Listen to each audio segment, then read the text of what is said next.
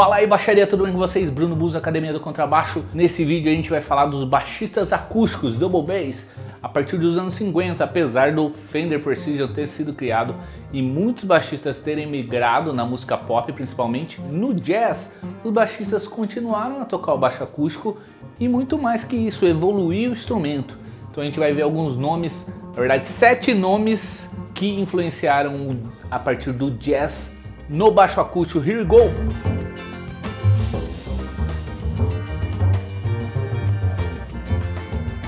É isso aí, apesar do slap ser no baixo elétrico, mas também tem slap no baixo acústico. Olha o Willie Dixon aí.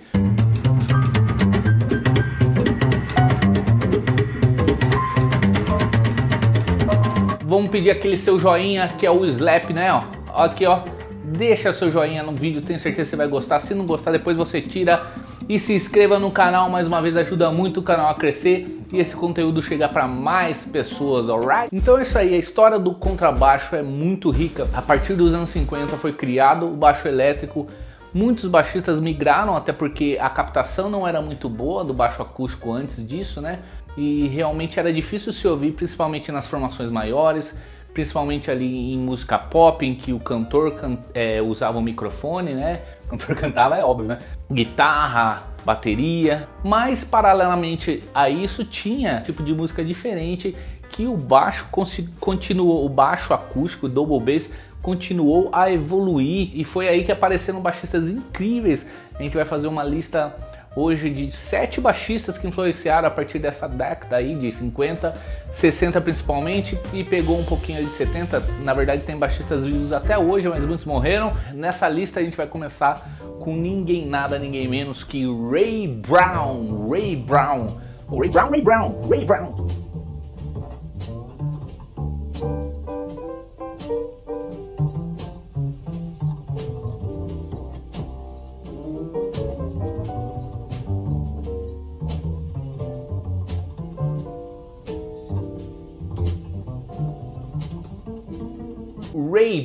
ele lançou um disco solo em 1956, talvez seja um dos primeiros baixistas aí a lançar um disco solo, né? É, chama Bass Hit, Count Basie, Oscar Peterson, Duke Ellington, os pianistas, né? E também o Ray Brown ele tocou com Charlie Parker e Dizzy Gillespie, que eram aí os nomes, os principais nomes do bebop. Ele também acompanhou várias cantoras, né? Entre elas a Billie Holiday e a Ella Fitzgerald, Fitzgerald, a Ella Fitzgerald que foi a esposa do Ray Brown, né? Eles casaram, se conheceram aí é, tocando com Duke Ellington e casaram. Em segundo lugar está esse cara que é um cara que morreu tragicamente muito cedo, né? É Scott LaFaro. Bom, o Scott LaFaro ele, ele tocou com Ornette Coleman, ele tocou com Chet Baker, mas a, a, fase mais conhecida dele realmente é o trio com o Bill Evans. Bill Evans que eu vou! O Bill Evans saiu da banda do Miles e montou o próprio trio e chamou ninguém nada, ninguém menos que Scott LaFaro, esse, esse novinho aí, né? O menininho tava tocando muito já chamou e ele criou um tipo, uma personalidade muito forte na hora de tocar, né? Conhecida aí como um estilo contramelódico de tocar.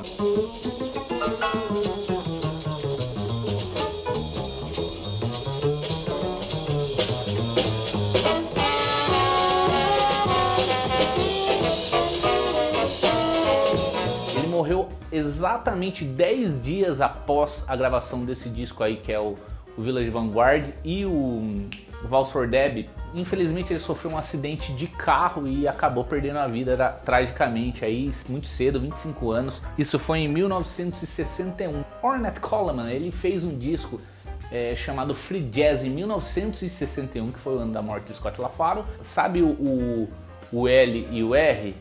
É isso mesmo, L e R, na minha aqui à direita o LR das músicas tinha uma banda no L e outra banda no R. Aqui, no Left Channel estava o Scott LaFaro do Right Channel. Tinha um outro baixista também muito importante, teve uma longevidade muito grande, uma longevidade é grande, né? E ele é o terceiro da lista aí, Charlie Hayden. Charlie Hayden. Charlie Hayden.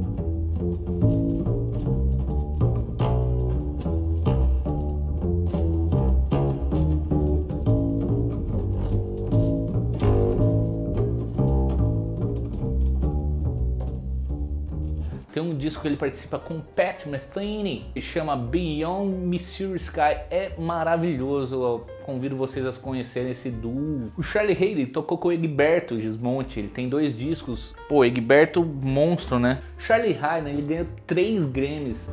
Quatro! Em quarto lugar tá um outro cara que também morreu jovem pra caramba, bicho. Paul Chambers. Então, Paul Chambers ele morreu com 33 anos de tuberculose e ele fez parte de dois discos assim que mudaram muito a história do jazz, porque nos anos 50 o que reinou foi o bebop. No fim dos anos 50, 59, tiveram dois discos. Um foi o Kind of Blue, Paul Chambers, uma das linhas de baixo do jazz mais conhecidas, que é a So What, né? Na verdade o tema tá no baixo.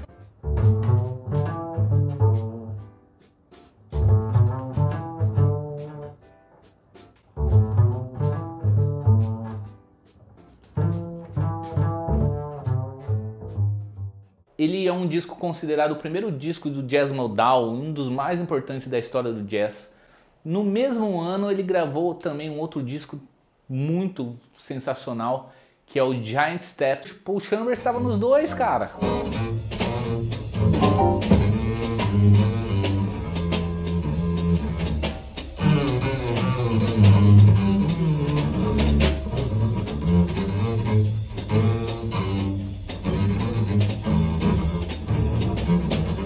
Paul Chambers estava na hora certa, no lugar certo, com muito talento. Ele, pô, sensacional, meu. Em quinto lugar aí, The Angry Man of Jazz, o bravinho Charles Mingus. O Charles Mingus ele tem uma linha do tempo é, particular no jazz, né? Porque ele tem um estilo muito próprio. Apesar de ele ter tocado com várias pessoas, como o próprio Charlie Parker, Duke Ellington, Buddy Powell, ele se transformou mesmo num, num band leader, arranjador, compositor. Em 1956, ele lançou o Pithecanthropus erectus, ouve lá, conhecido como uma obra-prima dessa dos anos 50, né?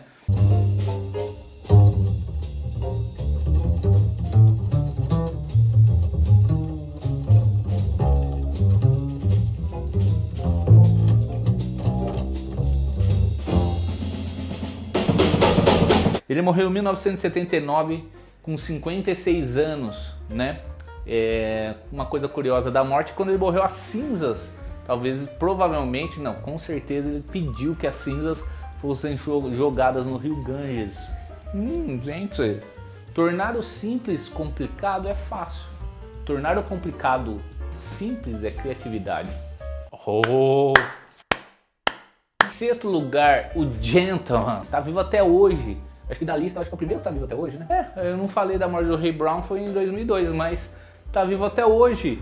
O cara que quando você toca ronca, hey, Ron Carter, participou do, do, da banda do Miles de 63 a 68. E da banda do Miles saíram vários artistas sensacionais que gravaram outros discos também.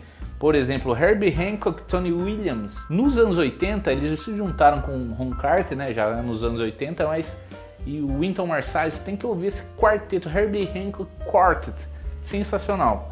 Além de, de, de do Miles, ó, Ron Carter, ele gravou com vários brasileiros, o Hermeto, Ayrton Moreira, a Rosa Passos, nossa rainha Rosa Passos, e o próprio Tom Jobim, bicho.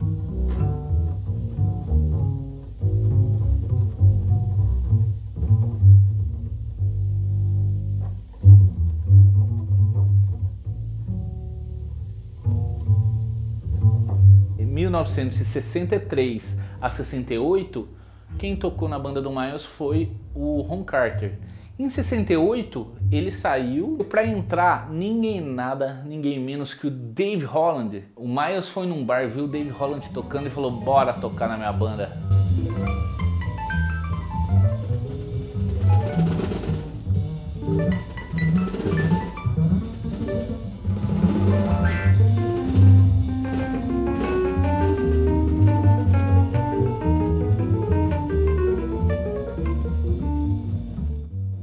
'Dave Holland participou do Beaches Brew, gravou alguns discos com o Miles, né, dos shows e tudo mais. Saindo da banda do Miles ali já nos anos 70, ele gravou Conference of Birds, que é um disco sensacional, muito legal. Começa a imprimir a sua, sua a imprimir o seu tipo de composição utilizando compassos ímpares, né? A Conference of Birds mesmo tem o, tem o 5x4. Daí vai virando um, um, estilo todo, como o Mingus também foi um cara que teve uma personalidade muito forte nas composições, o Dave Holland para mim é o number one o trabalho dele como compositor, como baixista. Ele gravou um disco solo de baixo sem ninguém, só baixo. Tem esse disco aí, Dave Holland tocando sozinho, bicho. Então, se você pegar também o Dave Holland Quintet, que já começou ali por, por, pelos anos 80, que tá vivo até hoje, o Dave Holland Quintet.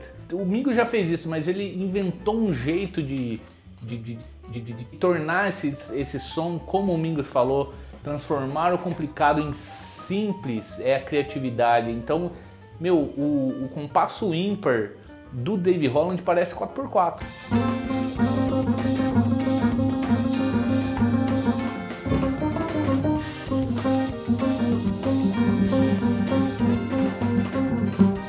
Bom demais falar desses baixistas. E aí, se tiver algum baixista que você lembre, não só sobre esse conteúdo, sobre outros, se quiser sugerir conteúdo, o seu comentário é bem-vindo, alright? Deixe seus comentários aí embaixo.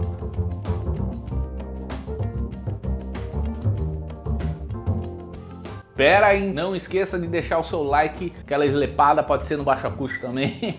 e se inscreva no canal para conteúdo pertinente aí sobre contrabaixo, pra gente aumentar esse canal, a gente depende de vocês, hein? Here we go! Muito obrigado!